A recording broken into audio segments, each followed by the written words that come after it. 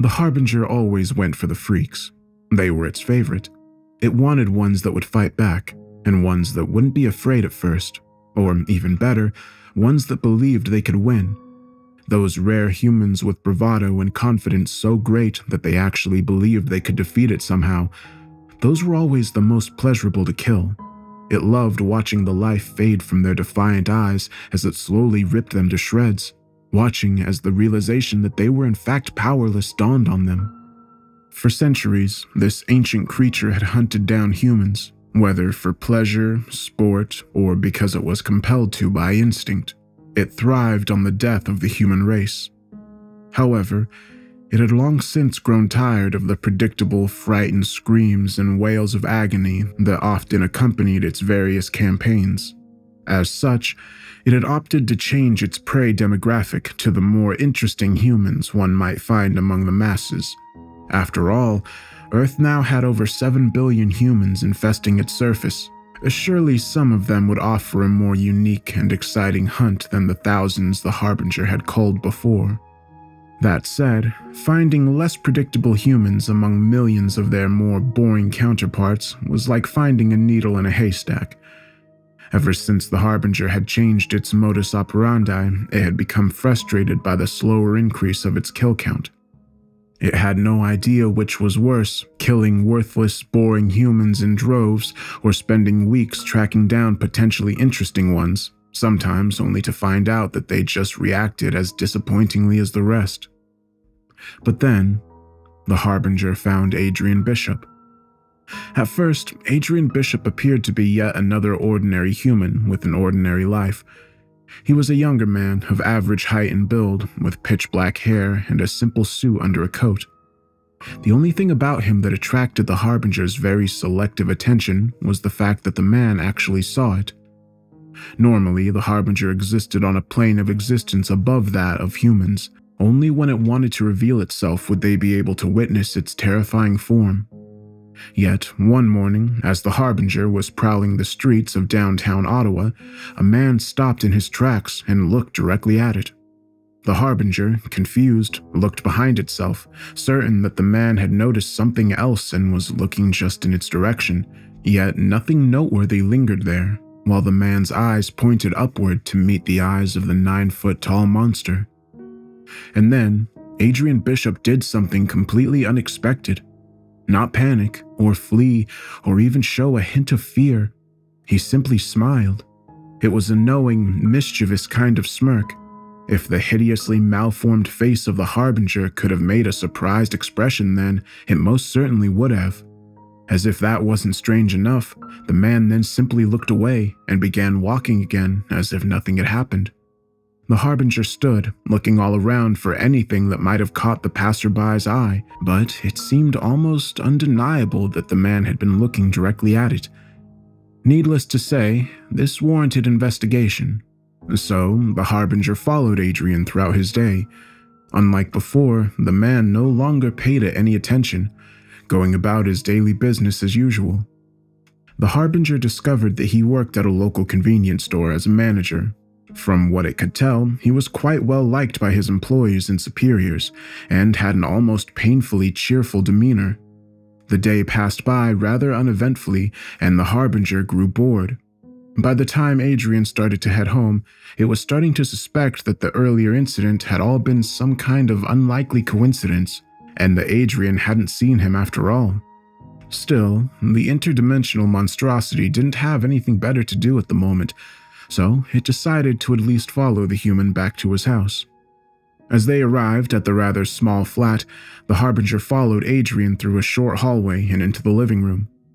Adrian began taking off his coat while the Harbinger lingered in the hallway, glaring suspiciously at one particular locked door on the far end of the room.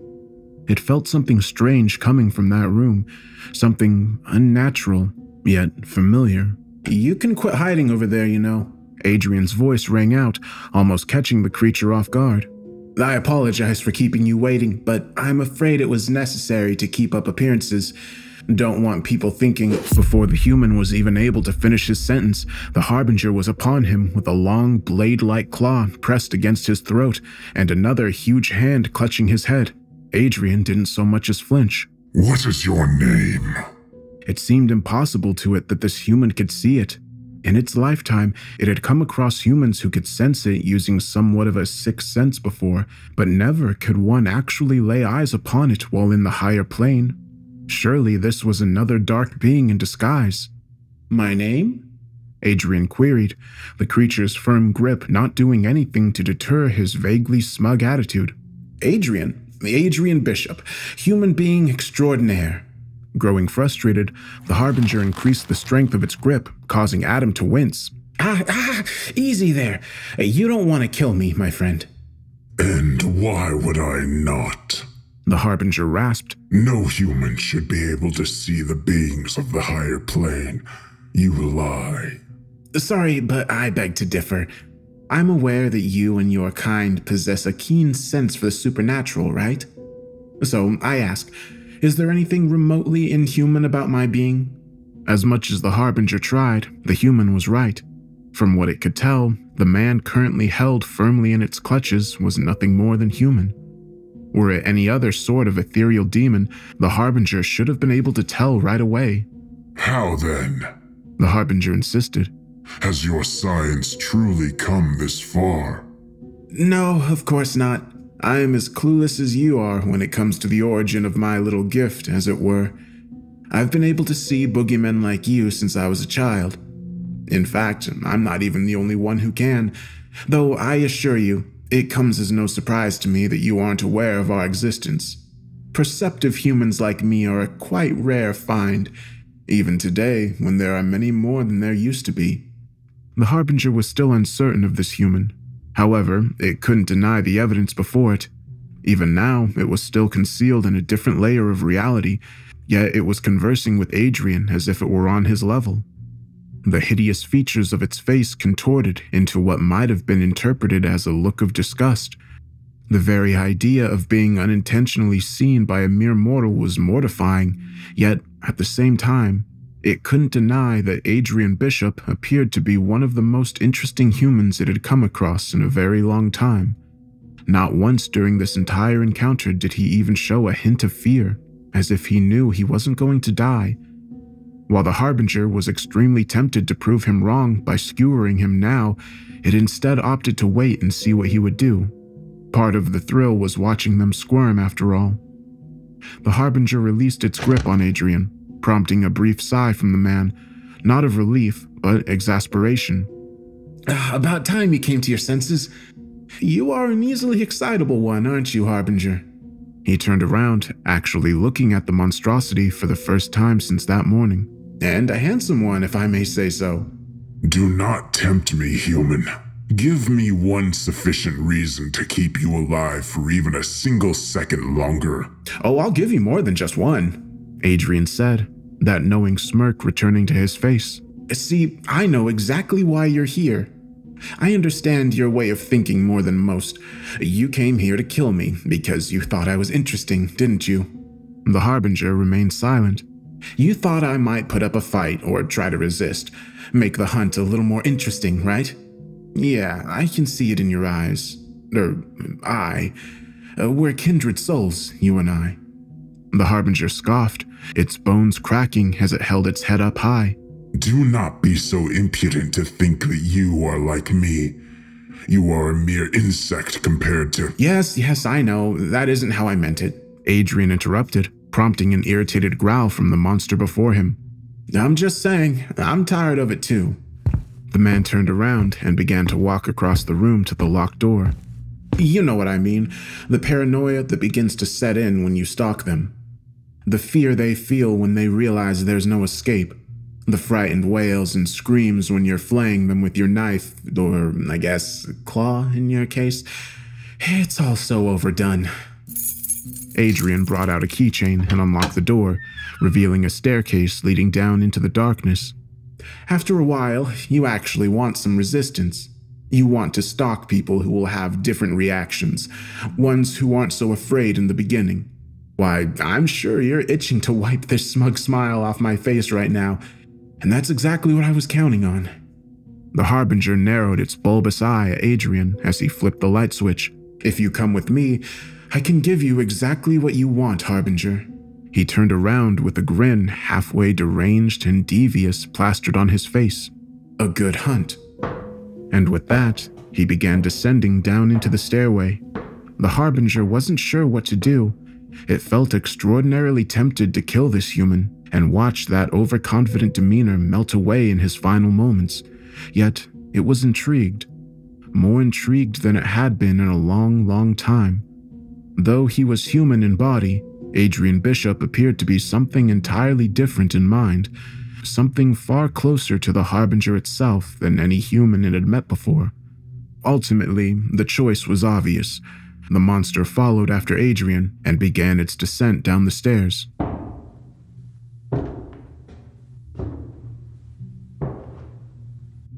I'm glad you decided to make the right choice, my friend.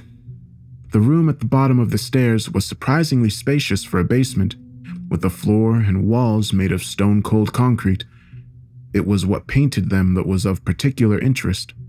Strange, archaic symbols littered the surface of the room, drawn almost anywhere and everywhere possible in what appeared to be dried blood. The only place where they weren't drawn was in the very center of the room, where another, larger, circular symbol of a similar nature had been carved into the floor. An assortment of cabinets was set throughout the room, some of which contained books and files, while others were packed full of glass containers, vials, and bottles of substances, on which were a variety of tools ranging from saws and hammers to strange little devices that seemed to be designed for torture. By far, the most intriguing part of the room, however, was the two cages at the far end. Each contained a person, a male and a female, sitting in the corners of their respective cages, cowering at the sight of Adrian Bishop. Welcome to my humble abode, Harbinger. Feel free to make yourself at home. Taking a look around, the Harbinger recognized many of the symbols painted on the walls, though the one carved into the ground was completely unknown even to him. Regardless, he knew what this was. So, you are one of those humans foolish enough to dabble in the black arts. I should have expected no less. The Harbinger said. Well, yes, but I think I do a little more than dabble. Adrian replied. He moved over to a swivel chair in the corner of the room and sat down. I'm a bit of an aficionado when it comes to what people might refer to as sorcery. I've spent most of my life studying up and even developed a few little charms and rituals of my own. It's not that hard if you know what you're doing, really. Turning the swivel chair around, he kicked the wall slightly, sending him rolling back. I'm not really a wizard or anything. Rather, I think I'm more akin to a psychic than anything else. The black arts is just a really grimdark term to describe the various combinations of actions, words, and symbols which allow the human mind to tap into the power of this place you like to call the higher plane. He shrugged. I can't claim to know how it all works. That plane of existence is probably completely incomprehensible to us lowly humans. Frankly, I think a lot of the procedures you need to go through to cast curses and spells are ridiculously convoluted and cliche, but hey, what can you do? The Harbinger was growing impatient. What is your point? Well, you were wondering why I can see and hear you, right? It's just that some humans have much greater latent psychic potential than others. Adrian explained, his chair coming to a stop as it swirled around to face the Harbinger. And I happen to be one of them. We're called seers, a term I coined, by the way. We have a strong connection to the higher plane, which allows us to be able to perceive its residents, among other things. In fact, not to brag, but out of all the seers I've met, I'm probably the most gifted. It allows me to perform incantations and rituals that most could probably never do. The Harbinger scoffed, turning its attention to the two cowering humans in cages. They were almost completely naked, wearing only ragged underwear, and the rest of their bodies were covered in bloody bandages. They both had their hands cupped over their faces, as if doing so would hide them from their captor. Are you sure you are not simply what humans refer to as a psychopath? The Harbinger sneered. Adrian chuckled in amusement, following its line of sight to the two captives. I don't know, probably. Though I think I'm a tad bit more ambitious than the average psychopath, to be honest. As for these two, they aren't here to be killed. they're more like uh, my lab rats. The Harbinger observed the so called rats for a moment longer. From what it could tell, they seemed utterly psychologically destroyed, as they did little more than rock back and forth or mutter while sitting huddled in the corner of their prisons. Hmm, I have not seen depravity such as this from your kind in many decades, the Harbinger said, though for once it was more of a compliment than an insult. Its long, bony fingers pointed in the direction of a cabinet filled with narcotics. I imagine that is what those are for, then.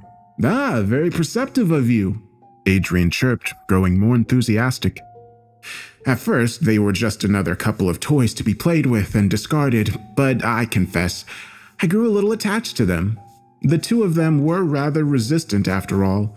The woman managed to hold out for a whole week before pleading for it to stop, you know? That's quite rare, and when the man noticed I had started following him, he actually tried to stab me. Honestly, I admired their willpower so much that I couldn't let them go to waste. So I decided to try some of my experiments regarding true fear on them. You would be amazed what a combination of hallucinatory drugs, some simple fear induction incantations, and just a smidgen of physical torture can do.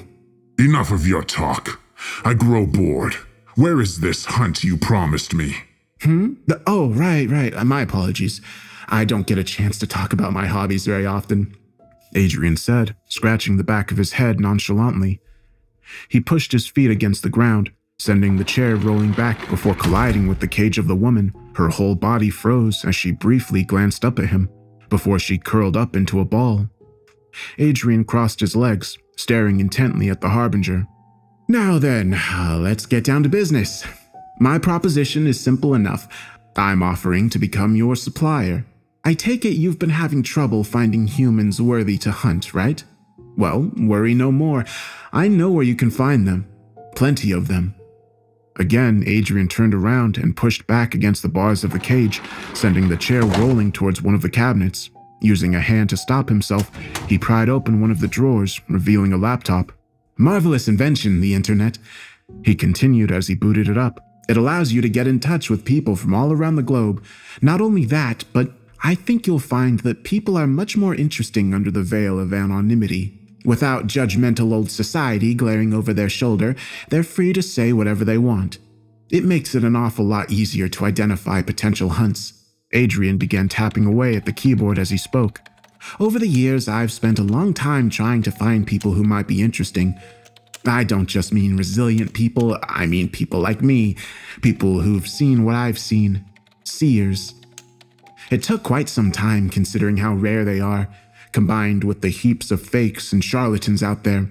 But I developed a way for seers to reliably identify one another, and I got us to band together. Now I run an entire online community full of users who are seers. It's strictly invitation only, of course. Some of them are more psychically gifted than others, but they can all at least see monsters. Because of that, I can guarantee that none of them have lived a normal life, or could be defined as normal people. The Harbinger was speechless. If what Adrian was saying was true, it had just stumbled across the greatest opportunity in centuries. It was almost too good to be true, and because of that, the Harbinger wasn't about to believe him right away. Nonsense. As if that little device could be used to amass so many people. Adrian sighed and shook his head. Come on, Harbinger, don't be an old geezer. You know as well as I do it's perfectly possible. It was through this website and the people in it that I first became aware of you, after all. The Harbinger perked up at this. Is that so? Adrian nodded. Yes, yes, it is. I was just logging on now so I can prove it to you. If I remember right, I was first informed about you by a user who actually observed you for a time while you were in New York. They watched you stalk a kid named, um, hang on. Adrian moved his finger across the touchpad and tapped it a few times. Ah, here we go.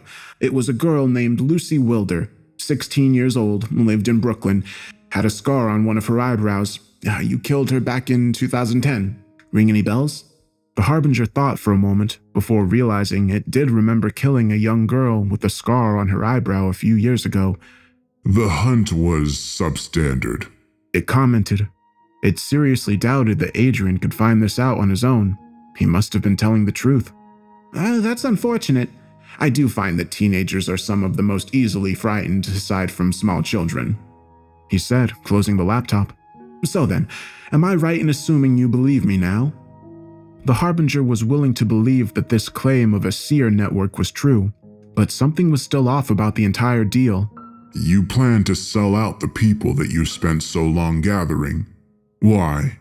Are they not your ilk? Adrian was silent for a moment, looking at the Harbinger numbly before he suddenly burst out laughing. My ilk? you must be joking. He boomed, prompting more frightened shivers from the humans in the cages. Calming down, he continued. Come along, Harbinger. Surely you must see by now I'm nothing like these other humans. You think I feel some sort of attachment to these people? They're merely more playthings to be toyed with, that's all. I gathered them for a very specific purpose, in fact, which is why I need your help eliminating them. And what would that purpose be? Well, experimentation, of course. But not like what you've seen with these people. I plan to conduct a whole new kind of experiment, for which I specifically need seers. The problem is, none of the seers actually live nearby. They're dispersed throughout the world, and I can't get to them easily, even with the black arts on my side, but you can. I will not capture them for you and bring them back. I will not be your slave. Come now, don't take me for a fool. I know that. The experiment I want to perform actually involves a ritual. I don't necessarily need them to be here to activate it. It's just that the mechanism requires a particularly gifted individual as the sacrifice. All I'd need you to do is set the ritual up as per my instructions each time, and kill your victim in the ritual setting. After you've had your fun, of course. The instructions will be different each time as I try out different variations of this ritual, since it's custom made. The Harbinger grew somewhat suspicious as it listened to Adrian's explanation. What is this ritual you speak of? Well, that's an interesting question. You see, it involves the combination of a series of ancient incantations passed down throughout my family for generations, combined with some basic trigger runes, a type 5 spell circle. What is its purpose? The Harbinger impatiently interrupted. Right, sorry, rambling. Uh, basically, I want to reanimate the dead. The Harbinger let out a chuckle at this. you humans never cease to amuse me. Your televisions have lied to you. The undead do not exist. It is impossible to reanimate a corpse after its soul is gone. Ah, I know, but I don't intend to let the soul leave its body, Adrian excitedly proclaimed. Without going into too much detail, the idea is to trap the soul inside the dead body using the brain's psychic energy. The high psychic potential of seers should make it possible to contain the soul even after death, since the brain doesn't immediately cease functioning. Then, the incantation you recite should stir the trapped soul, causing it to reanimate the body, in theory. The Harbinger was sure that this foolish theory was nonsense, but the man seemed completely confident in his abilities, and it was none of the creature's business whether the ritual succeeded or failed. All that mattered to it were the hunts which were being promised. It seems like a fair exchange, doesn't it? Adrian said, looking up at the Harbinger. All you have to do is a bit of handiwork after your hunt is finished. You can spend as much time psychologically decimating the person as you like, but once the time comes to finish them off, I simply ask that you kill them according to my instructions. And believe me, the hunt will be well worth your time. The Harbinger stared down at the seated man, the offer was too tempting to resist.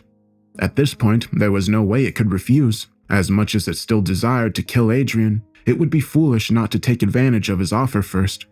Then, after Adrian ran out of victims to supply, his number would go up, and the Harbinger would claim its ultimate reward that smug grin of his.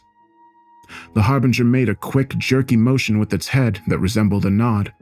We are in agreement, Adrian Bishop.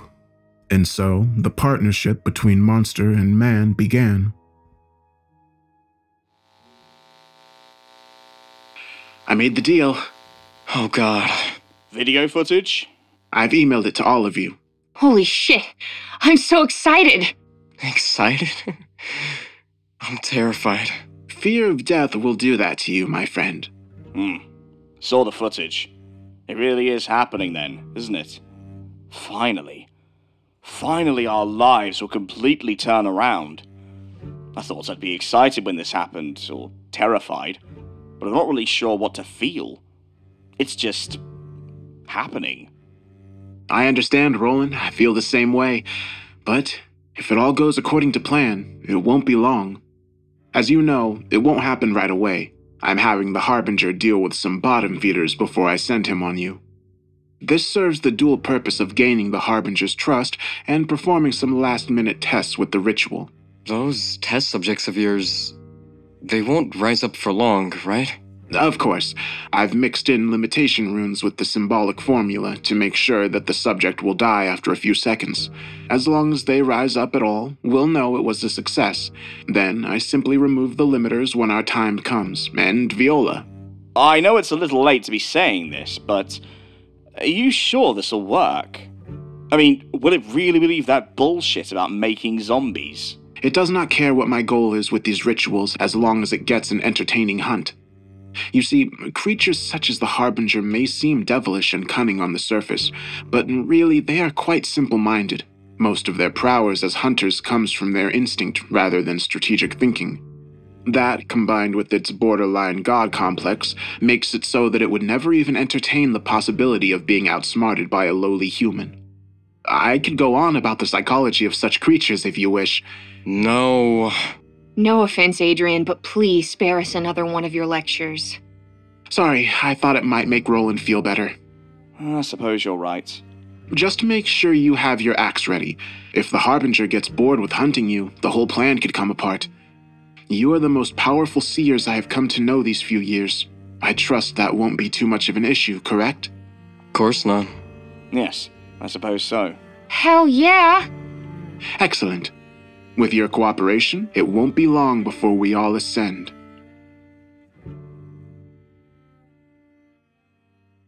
The following months were filled with bloodshed. Though it had initially been skeptical, the Harbinger soon began to realize that Adrian's claims were entirely true. Its first victims were what its benefactor described as monster hunters, those who use the black arts to target monsters and either kill or seal them away. Personally, I find those people to be fools, Adrian had complained. They believe they're righteous warriors of justice, saving the world from evil one monster at a time or some nonsense. In reality, they're little more than pest control.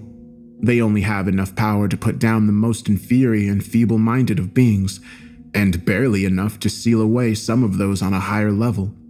None of them could ever hope to defeat a monster such as yourself, but believe me, they will try Many of them have died doing so. Each of the hunters provided more entertainment than the Harbinger had in years. Most operated on their own, but those who were in close proximity to one another actually banded together to engage in their little hobby. Some of them were intimidated when faced with the challenge that was the Harbinger, but having been approached by creatures of the unknown many times before, they did their best to use weak incantations and rituals to get rid of it. Some of the less experienced ones, who couldn't have known how much of a threat it really was, even went as far as to taunt and threaten the beast. It was all quite amusing, watching the insects and their false sense of grandeur fall apart as the Harbinger hunted them day and night. To perform the rituals, it would wait until night fell to take its victim to a deserted building, such as an abandoned warehouse. Adrian requested that a video camera be set up so that he could observe, which was no easy task for the Harbinger's long, clawed hands. All of the rituals were highly complex, requiring overly specific procedures to perform. It needed to carve a particular series of symbols and runes into the walls and in particular order, facing a particular direction and at a particular time of night. What was even more convoluted were the necessary actions, during one ritual, the Harbinger was required to move two steps back, stab the victim in both of their legs, move two steps forward, and scratch their eyes out. Then it would wait for five seconds before biting the victim's nose off and leaving them to bleed out. Considering how much these procedures caused the victim suffering, the Harbinger had no issue with performing them and actually enjoyed it to a degree.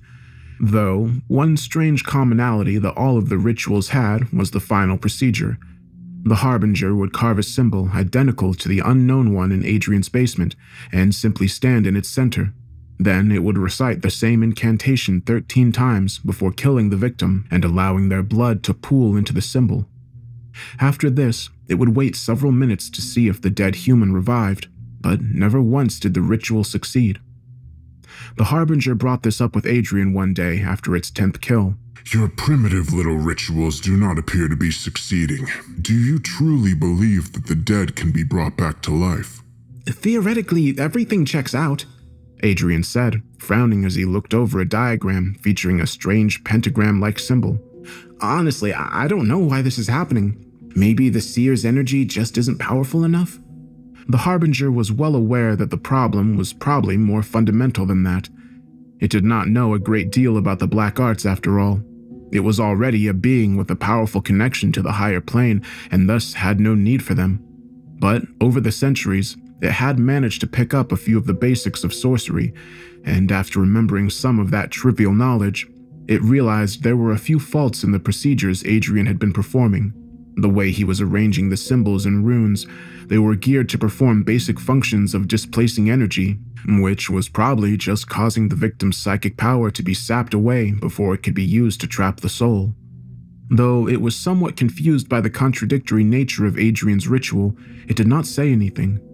The Harbinger realized that the reason Adrian had made a deal with it was in order to test the ritual, which meant that as long as the ritual needed to be improved, the arrangement would continue. Thus, it resolved to allow Adrian to continue his foolish escapade until either he figured the problem out on his own or the Harbinger grew tired of his hunts. Ideally, he wouldn't figure it out until it wanted him to, at which point his ritual would be a success and his ego would be at an all time high. That would be the perfect time to bring about his ultimate downfall. Satisfied with his little scheme, the monster continued to humor the man. Is there no way to gauge a seer's mental capacity? Yes, it should be possible to judge how strong someone's psychic connection is based on the level of the incantations they can perform. But that doesn't mean I know everyone's psychic potential. I can't force everyone on my site to undergo a test, that said, the ones I've been sending you after are, to my knowledge, relatively weak.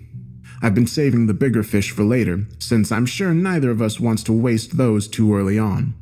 The Harbinger perked up at this.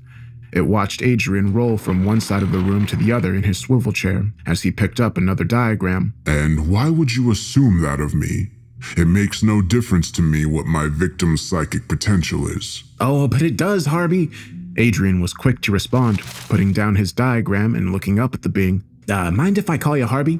The Harbinger took a long step forward, growling as it glared down at him. Do not tempt me, human. Adrian chuckled. What is that, your catchphrase or something? He teased. As much as the Harbinger wanted to skewer one of his legs on the spot, it restrained itself. The sense of safety the man was beginning to feel around it would only serve to make his death all the more delicious. Anyway, do you remember the day we met when you mentioned that I might be a psychopath? Well, I did a little research on the subject, and I discovered that I actually fit the bill quite nicely.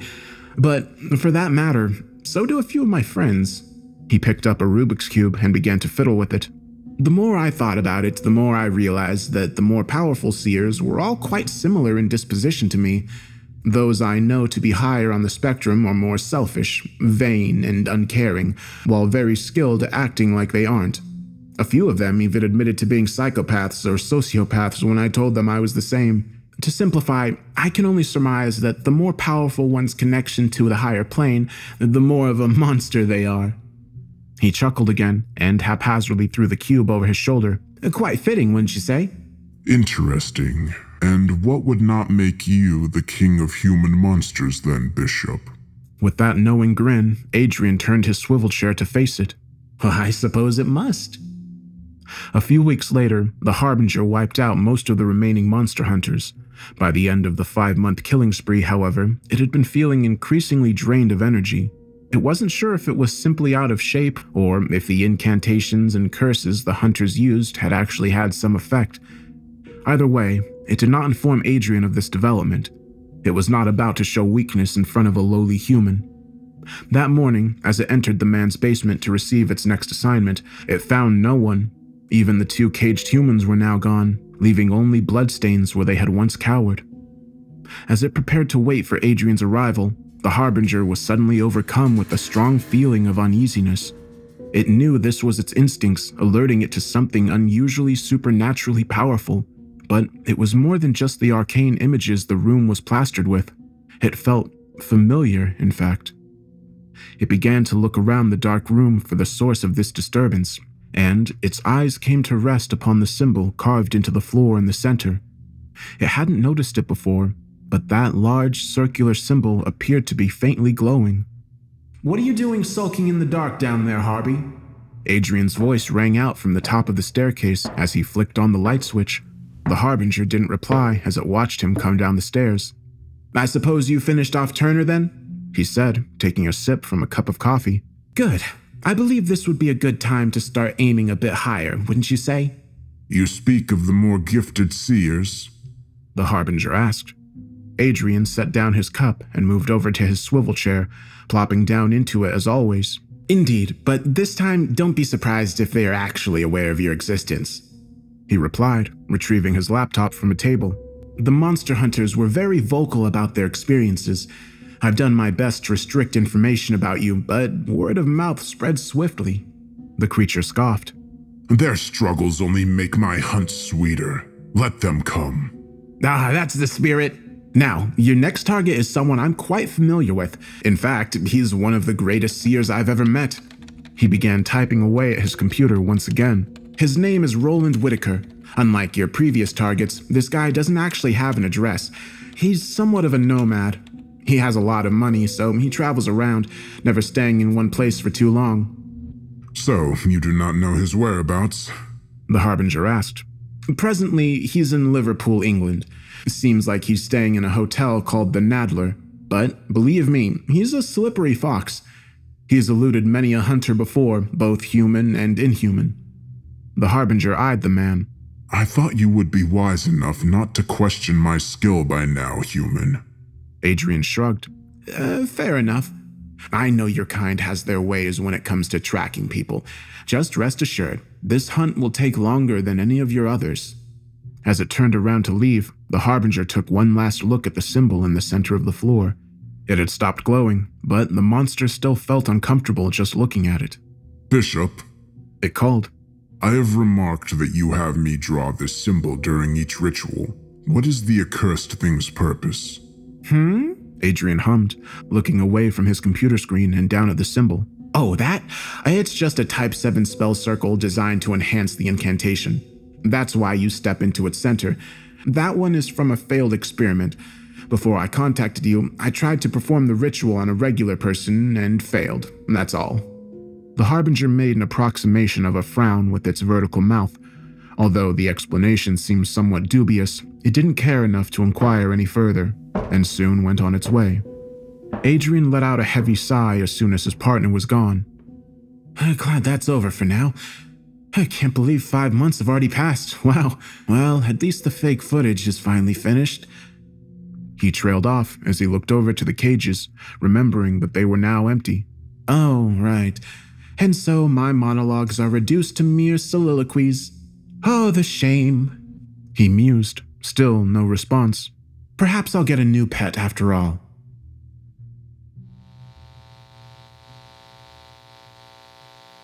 Gosh, Roland, you haven't a clue how stressful it is keeping up a cool front with that monster around. Sometimes it looks like it's about ready to slice me in half. Isn't that the idea? well, I suppose so, but I come last, remember? Anyway, I've sent him after you. Not to worry, the tests were a complete success. If everything goes smoothly, you will officially be the first one of us to ascend. Isn't that exciting? Somewhat. I'm a bit number than I thought I would be. In any case, footage? Already sent. As you can see, the experiments went swimmingly. Hello? Hmm, so that's what Ascension looks like. Not what I expected. Why does the camera cut out at the end? Well, it's a powerful process. A measly video camera can only pick up so much. In fact, I had to buy a new camera each time because they kept getting fried. A lot of the footage was destroyed too. What a waste. I can't say I fully understand it. We're dealing with the higher plane here, after all. But it seems the transformation emits some kind of energy wave that fries all nearby electronics. I see. When should I expect to see the Harbinger here? A day or two, I suspect, but be prepared at all times. Oh, Not to worry. I am. Two months. For over two months, the Harbinger chased Roland Whitaker around the globe. It remembered the first trap that the tricky weasel had laid for it. In room 206 of the Nadler, several otherworldly beasts awaited. The place was covered in spell circles, presumably designed to attract the demons, which immediately attacked. Enraged by the audacious and cowardly tactic, the Harbinger dispatched them all, going so far as to use one of the wolf like things as a weapon to beat the other two to death.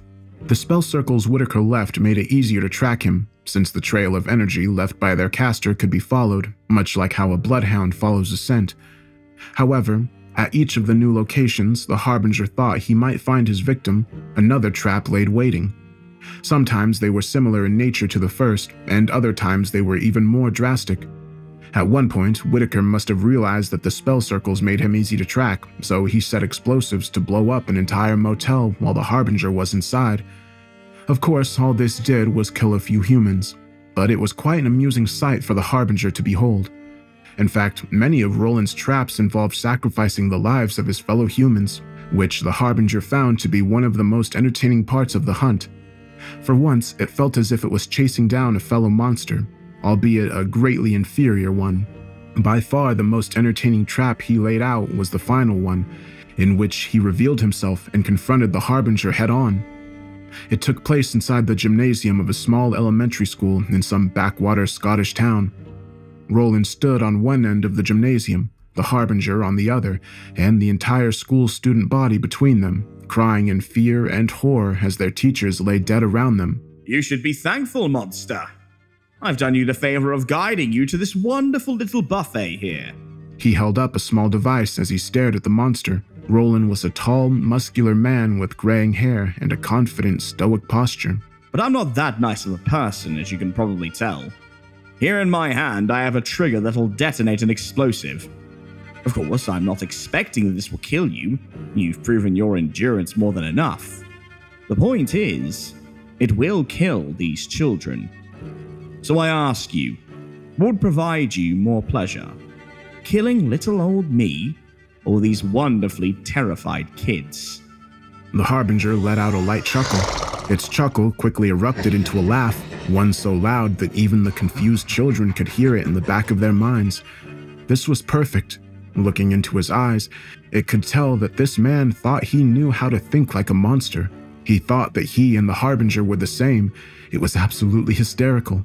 It dashed forward, reaching Roland in the blink of an eye. Before he could react, it sliced its claw through his tender flesh, ripping his arm right off. Roland screamed almost as loudly as the children, who were apparently smart enough to see their chance and begin running for the exit, but it didn't care about them.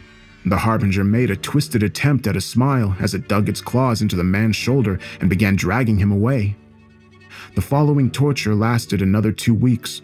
The Harbinger wasn't sure if Whitaker was an extremely resilient man or if he simply lacked emotion. Either way, it took a very long time and a variety of different tactics to finally get him to crack. Adrian, seeing that his partner was having some trouble, even offered some advice. Try something a bit slower. Uh, trust me, with people like him, the elegantly simple methods are the most effective. You'll have to be patient, but it will be more than worth it. While the wait annoyed the Harbinger, Adrian had been right. The satisfaction of finally seeing Roland Whitaker burst into tears after having to sit in a dark room with only the sound of water dripping was enough to make it worth it. And so came the time for the ritual.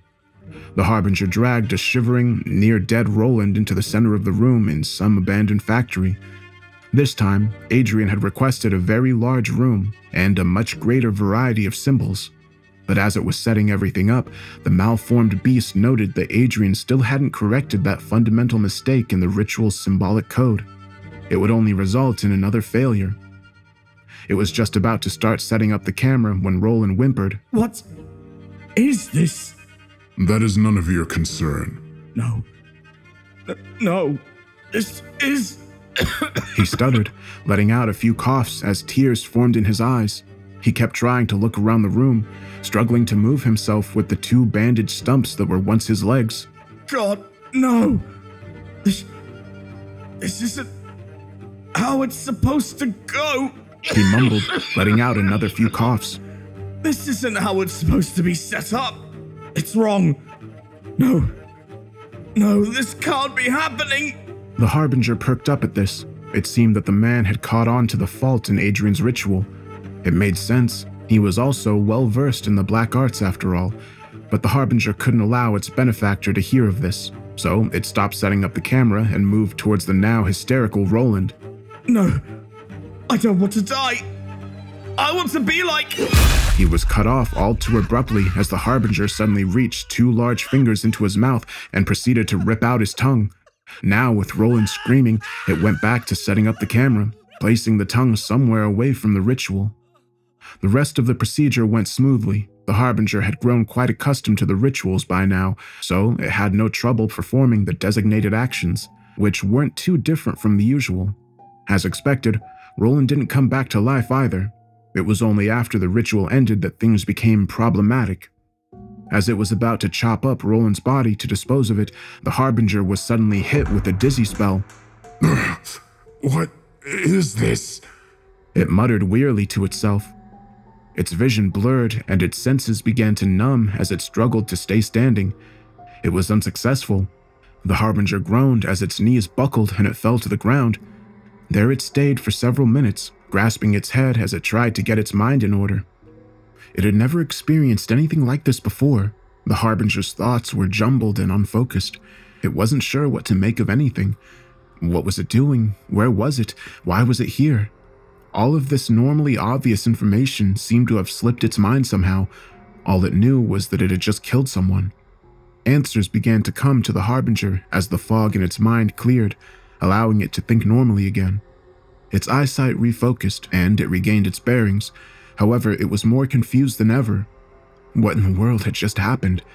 In all its centuries of living, it had never experienced such a lapse in concentration, such weakness. Though it still wondered about the cause, it absent mindedly continued going about its duty, slicing through the dead flesh before it with reckless abandon, allowing blood to splatter all over. Later that evening, after it had dropped the remains in some nearby lake, the Harbinger decided to take a walk.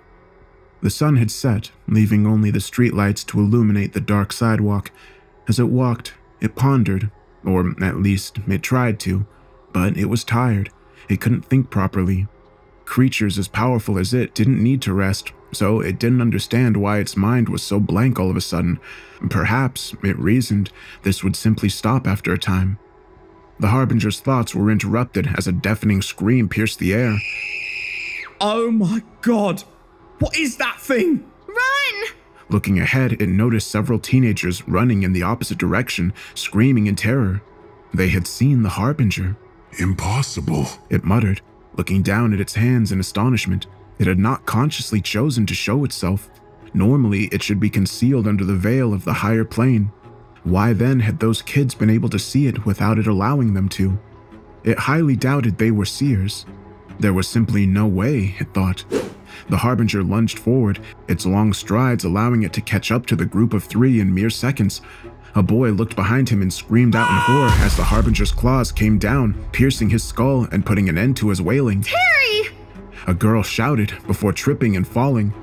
The Harbinger didn't even look at her as it crushed her skull underfoot and jumped onto the third boy. Instead of immediately killing him, it simply observed him for a moment. He was absolutely hysterical, of course, and was struggling to get free from underneath the beast, but he didn't appear to be looking directly at it. It seemed that it was finally concealed again, like it ought to be. Feeling at least somewhat relieved, the Harbinger simply sliced his neck and rose up. The Harbinger tried to think of what to do with the bodies, but it found that it couldn't. It didn't really feel like thinking about such trivial things now. All that mattered was returning to Adrian and receiving his next assignment. Jesus Christ, Roland's little game with the Harbinger is all over the news. I really hope the Harbinger takes care of him soon. Yeah, the sooner he ascends, the better. Then again, what if it only gets worse when he does?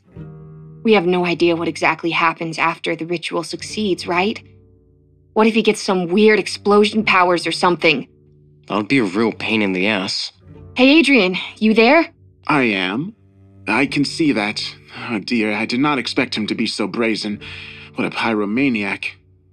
Well, at least it's not like it affects us, right? Indeed. The death toll of this hunt was high, but it isn't like we're implicated in any way. Which reminds me, uh, he's dead. What, What? the fuck? I thought you said the ritual was a success. It was, or it should have been. It seems that idiotic monster got carried away and killed him during torture. In part, it was also Roland's fault for doing such a good job at provoking it by resisting. Oh, Jesus. Oh, boy. Calm down, Gale. Sh- shit! What if it does the same with us? This isn't how you said it would go down, Adrian. Relax. The plan is still proceeding smoothly. It's only a minor hiccup. Minor hiccup? As long as neither of you repeat the mistake, it should be fine. You're both different from him anyway. Yeah. Yeah, you're right. I still don't know about this. I, I'm pulling back my claim to second place. Oh, real smooth, Trey. Fine then. Since you're too afraid, I'll go next. It seems the Harbinger has returned. I'll be right back. Bishop! Yes, dear? The Harbinger descended the stairs to the basement, its arms hanging limply at its sides. Give me my next victim. Adrian looked up from his laptop monitor. What? Already? I thought we could have a little chat. Enough of your chatting, human. My next meal, now! All right, all right. Adrian said. He rolled over to a table and picked up a piece of paper. Gail Palmer lives in San Antonio, Texas. Here's her address and the instructions for the ritual. The Harbinger snatched the paper up, but as it was about to leave, it heard a loud clang from one of the cages. It turned to see a young girl, about 10 years old, trapped in one of the cages. She didn't make a sound, but her mouth was open as if she was trying to scream, and her eyes were locked on the Harbinger. Adrian looked from the girl to the monster and then back to the girl. You like her? She's my new pet. I already damaged her vocal cords so she can't scream. But why is it she can see you? Last I checked, she was no seer. The Harbinger growled, both at the girl and the man, causing the former to curl up into a ball. It then looked at Adrian. Mind your own business. With that, it stormed out of the room. Adrian watched it go with a sly smile on his face. Well, looks like the plan is coming along better than I expected, he said, spinning around in his swivel chair. We won't be long now before the Harbinger is just a big, scary old fish out of interdimensional water. I can't wait to see how people react. He stopped himself, facing the little girl. Don't you think so, Adriana? When the girl didn't reply, he looked back down to his laptop. Hmm, looks like I won't have any need for Trey anymore, though. After Gale's finished, that ought to do it. Here I am. How'd it go? Quite well. The Harbinger will be coming after you shortly. Phew. Great. Time to get ready. Remind me again what your strategy is? Well, I'm not gonna blow up buildings if that's what you mean. My strategy is short and sweet. Should take a few days max. If Harbinger reacts the way I want it to. If it doesn't, it'll probably take even less than that. A day, maybe? That's a relief to hear. Roland took so long I thought I would die of boredom. Same. Anyway, guys, I gotta head out. Need to clean up around here before my guest arrives. See you on the other side. Bye. Until next time. So, you're sure it'll work this time? I forgave the Harbinger for its previous transgression, and it's still none the wiser to our plan, so everything should go smoothly. That's what you always say. Don't be such a worrywart. Anyway, I have to go. Need to tend to Adriana. Who? Bye. The Harbinger let out a sigh. It began to feel a bit more at ease. For some reason, being in Adrian's basement had set it more on edge than usual. Although it still felt weary, the monster at least had a new hunt to focus on. In the end, that was all that mattered. Soon enough, it located the apartment number of Gail Palmer. The Harbinger was about to phase through the door when, all of a sudden, it opened. Hey there. The woman on the other side cheerfully chirped. She was tall and quite beautiful, with short black hair and red highlights. She wore a black dress and some makeup, as if she were ready to go out for a special occasion. Come in, I've been expecting you. She said as she motioned for the beast to enter. Needless to say, this was quite the surprise, though the Harbinger had come to expect no less from the people Adrian supplied it with. She was probably setting some sort of trap, so the Harbinger decided it would be best to go along with her little game and see what she had planned. Gale closed the door behind it. Make yourself at home, Harbinger. She said, motioning towards one of the two couches stationed on either side of a small table in the center of the room. Her apartment was surprisingly decorative and homely for one so small. Had the Harbinger been a human, he most certainly would have taken her up on her offer. What games are you playing, human? The Harbinger asked, growling in an attempt to intimidate her. Of course, she was completely unfazed. Why, I'm just being nice to a guest. Now, what's your poison? Tea or coffee? Sorry, but I don't do alcohol. The Harbinger was silent for a moment. It decided perhaps it would play along for now and wait for the moment to strike fear into her, so begrudgingly it answered. Coffee. Coffee it is. Chimed the woman as she moved into the kitchen nearby. Good choice. I'm more of a coffee gal myself. It felt strange for the Harbinger to sit down on a couch. It had never sat down on a couch before. In fact, it rarely ever sat down to begin with. But for the sake of playing along with the charade, it did so. A minute later, Gale returned with two cups of steaming hot coffee. Careful, it's hot. She said, sitting down on the couch opposite to the creature. She looked him directly in the eye. So then, tell me something about yourself, Harbinger. I'd love to know. The Harbinger paused, glaring back at her. I'm here to kill you. Gale stifled a laugh. Oh, Harbinger. I know that already. What I'm asking is to tell me something about yourself, your personality. Do you have any hobbies, interests? The Harbinger, still confused at the strange nature of this conversation, did not respond. Instead, it asked, How do you know of my existence? Did your computer compatriots inform you? Hey now, I understand you're not human, but it's a bit rude to leave a question unanswered. Gale chided, waving her finger as if scolding a child. Both the human and the monster sat in silence for a few moments longer. It seemed neither were intent on answering the other's questions. In the end, the Harbinger was the one to give in. I enjoy killing, it said. It felt disgusted that it was playing human, as well as being bossed around by one. But as degrading as this was, it reminded itself that this would be well worth it in the end. Wow, what a coincidence! So do I! Gail proclaimed, taking a sip from her coffee. I don't like killing myself, though. That's a bit messy, I find. I just get my friends to do it for me. You speak of your computer compatriots? The Harbinger inquired. Oh, heavens, no. I'm talking about my other friends. In fact, they're here right now. Come out and say hi, everyone. At that moment, the door to the bedroom opened up, and several small creatures came running out. The little monsters came in different shapes and sizes, though they were clearly animalistic.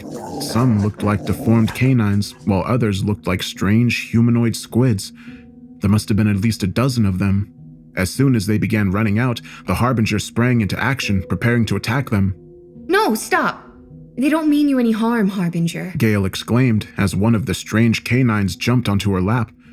They were behaving more like simple household pets than monsters, running around and sniffing things, never even damaging anything. The Harbinger noted that Gale's bedroom was filled to the brim with black arts symbols, and the pieces clicked in its mind. So, you have tamed these beasts. I must admit, for a human, that is impressive. Gale seemed to beam with pride. Why, thank you. The Harbinger scoffed, brushing a small troll like creature away from its leg. So then, you wish to tame me as well? Is that your goal? Gale frowned. What? Well, of course not. You're my guest. The Harbinger sighed, sitting down. It knew it would not be able to endure this ludicrous act much longer. In all honesty, I just wanted to have a talk with you. I thought perhaps, if we got to know each other, we could avoid this whole, well, killing me thing. Does that sound fair to you? The Harbinger simply nodded, glad that a chance to create dread finally presented itself. It would use this conversation to lead Gale into thinking it would let her be free, and then, when it was about to leave, it would dash all her hopes. And so, the two continued to talk until the sun set. The Harbinger did its best to act somewhat friendly and human, despite the sick feeling that resulted from doing so. Gale was quite the talker, however, she just wouldn't stop. In a way, that was best for the Harbinger, as listening was far easier than talking. It pretended to be as sympathetic as it could and take everything in, only responding when he was asked a question. Ultimately, it was a pathetic excuse for a hunt. However, the Harbinger still enjoyed itself. In a way, the whole ordeal was relaxing because not much effort was required on its part. And it was hardly a waste of time. When the time came to leave, the Harbinger allowed Gale to say her goodbyes before haphazardly knocking her out with a whack to the head. Now it would have its fun. It took her away, transporting the two of them to a deserted, barren stretch of land to begin the torture. Listening to the voice that had babbled incessantly for hours scream at the top of its lungs was almost euphoric for the Harbinger. As unorthodox as the whole thing was, it was still amusing. By the time the woman was ready for the ritual, the Harbinger was getting tired again. It wasn't in the mood to think of a place to perform the ritual anymore, so it opted to just use the woman's apartment. But as it had almost finished drawing the necessary symbols on every available surface, it noticed Gale stir. Harbinger, are you there? The Harbinger turned around, surprised she was still conscious. Unlike the previous victim, it had decided to only burn her rather than pierce and cut. Since this was a shorter hunt anyway, most of her hair was gone and her eyes were struggling to stay open as she groaned from her second and third degree burns. Harbinger, could you switch those symbols around? They're wrong. The Harbinger followed her line of sight to a few of the symbols. They were not the ones that the Harbinger knew were wrong. Oh, and those ones. There. Her head slowly turned, and she looked at some more of the symbols. She kept doing this for almost all of the symbols that had been drawn as the Harbinger continued to follow the instructions he'd been given. Soon, the ritual was ready, leaving only the procedure. The Harbinger did what it had been told, dragging her by what little hair she had left around the room five times. During that time, she wouldn't stop mumbling something. Should have known. Should have known. Should have known. The Harbinger put her back down in front of Adrian's strange symbol and stood in it. Her crusty eyelids lifted, and she noticed the symbol for the first time. Her eyes widened. Adrian, I, I should have known. This immediately caught the Harbinger's attention, but it couldn't stop to ask now lest the ritual be ruined. It simply began repeating the incantation that it always did. Meanwhile, Gale let out a hoarse chuckle.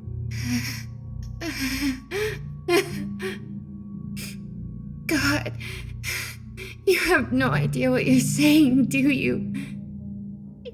You're basically. Her sentence was cut short as the Harbinger sliced her throat, letting her body fall to the floor. After the blood began to pool into the carved symbol, it waited. As usual, nothing happened. The Harbinger was about to call it a day when suddenly a jolt of pain ran throughout its body. It roared out in agony as it fell to the floor, clutching its head. It felt weak, weaker than it had ever felt before. It struggled to get up, but quickly lost its balance and fell again, this time actually impacting the floor and making a loud thud. This just made it more confused. Normally, those on the higher plane should not be able to impact the physical world without revealing themselves. The more it tried to figure out what was going on, the more exhausted it felt and the more its head hurt. Then there was a knock on the door. Gale, are you alright in there? Came a voice. Instinctively, the Harbinger crawled across the floor and over to the door. It was a human. Though its first thought should have been to flee, it found that it didn't care to. Its instincts screamed at it. The humans need to be killed. That was all it could think about. Realizing it could no longer phase through the door for some reason, the Harbinger clumsily clutched the doorknob and flung it open. The man on the other side was about to scream, but he never got a chance as a claw reached out and went into his open mouth, then through the back of his head. The Harbinger retracted its claws and set about ripping the human apart. For some reason, it no longer cared about hunts or amusement. It was as if all of that had been stolen away, leaving only its bare and monstrous instincts. It just wanted to kill. That's when it remembered Adrian, Adrian Bishop, the one who had begun all of this. Who better to kill than him? I can't believe it. I can't believe we all fell for your little trap. We should have known. I should have known. Gale is dead, and the Harbinger is on a rampage for Christ's sake. It's killed 15 people, and it's on the news. I'm dead. Oh god, I'm so dead. And it was all a waste, too. What a life. And it was all a lie, too, wasn't it? I bet it was. Should have known not to trust a fellow goddamn psycho. Ascension was a load of bullshit, wasn't it? Getting into the higher plane was impossible all along. You just wanted to kill us for your own sick amusement. Or maybe you just wanted to be the only one to ascend. Is that it? Got nothing to say for yourself? Figured. You're wrong. Oh, don't give me that. You think it's not obvious now? We spent months working on that ritual. It was theoretically perfect. It shouldn't have failed. The only reason it did was because you messed it up on purpose. Theoretically. Listen to me. It never would have worked. Not without a great amount of energy. An amount far greater than anything we could extract from any of ourselves. Why did you think I needed the Harbinger to be the one to do it instead of one of you or someone else? I was never performing the Ascension ritual in the first place. The ritual that I did perform on Gale and Roland, however, did indeed require a monster to be the caster, because the target was never Gale or Roland to begin with. Their psychic energy was only to be used as a conduit. I see. So then, I suppose I'm next. Whatever. There isn't anything I can do to stop it. Actually, I'm next. I was a little too cautious in my calculations. I only needed two powerful seers to complete the process, alongside those bottom feeders I used. The Type 7 glowing behind me is proof enough of that. You piece of shit. Oh, it sounds like the final sacrifice has arrived. Don't worry though, after I'm finished, I'll be sure to pay you a visit. The door to the basement was ripped right off its hinges as Adrian's guest of honor made its way down the steps. The light switch didn't need to be flicked, for the room was filled with the bright light of the spell circle. In the middle, sitting comfortably on a swivel chair, sat the man himself. Welcome back, Harbinger. Had a nice night out? The Harbinger charged, teeth and claws bared like a wild animal as it ran to claim its prize, but it never made it past the circle. The bright light blinded the beast, and a feeling many times stronger than the uneasiness it had felt here before overcame it. It was a feeling that it was unfamiliar with, yet it recognized the feeling of the power radiating from the circle all too well. I'm glad to see you're excited, as am I. I've been waiting for this day for so many years, you know. Growling, the Harbinger tried to overcome the feeling, but to no avail. It could not bring itself to enter the circle, no matter how strong its bloodlust. Anyway, I suppose it's time for my monologue now. I suppose you, in all your simple minded rage, couldn't understand, but I feel obligated to explain, even if it's just to the empty shell of your former self. Adrian cleared his throat and smiled as he continued. all of that you that has suddenly disappeared is actually here, if you didn't know. He extended his arms, motioning to the circle around him. The rituals I was having you perform were sapping away your power, the very essence of your being, rather, and sealing it away, using the residual psychic energy of your victims as a way to channel it. The stronger a seer the victim was, the bigger of a chunk would be sucked away. And as if to make the irony sweeter, the incantations you spoke were literally just you giving the ritual the instructions to take your energy and redirect it back here. But I didn't seal all of you away, not only because that was impossible, but because I didn't need all of you. You see, you monsters are hilariously simple creatures. No matter how advanced your intellect, you are only driven by the instinct and desire to kill and induce fear in people. It's all rather trite. Yes, since I was small, I've watched your kind kill and break people's minds. I even followed in your footsteps, mostly out of pure boredom, mind you, but it was fun for a while. It was fun for a while, but I think I'm ready to move on to bigger things now. Evolve a little, you know? The Harbinger knew now. It had never felt it before, but it knew now what this feeling must have been. It was not rage or amusement or bloodlust. It was fear, fear of Adrian Bishop. I find that power such as this is quite wasted on the likes of you. For centuries, centuries, mind you, you've been using it to simply go about killing people in the most dreadful ways possible. Your psychology won't permit you to have higher ambitions, but mine does. Adrian stepped out of his chair, moving to the edge of the circle. From his pocket, he pulled out a pistol, aiming it at the Harbinger with that smug, knowing grin on his face. Believe me, your power is in better hands now, superior hands. When I ascend to the higher plane, no one will be safe. He cocked the pistol. I don't care about who's interesting or unique. I don't just look at things on an individualistic level like you do. No, my goal is the entire world. I don't just want one person begging for mercy. I want the entire human race to be wishing it had never existed. His smile grew from ear to ear, bordering on deranged. And so, thanks to you, I can take the first step towards that goal. But alas, as much as I may brag, I do see the value in sticking to one's roots. By now, the Harbinger was sitting in a ball on the ground as if it would make the monster go away. Adrian extended his leg and put his foot on the creature's head triumphantly. I think I will always have a particular fondness for the freaks. Like you, Harbinger.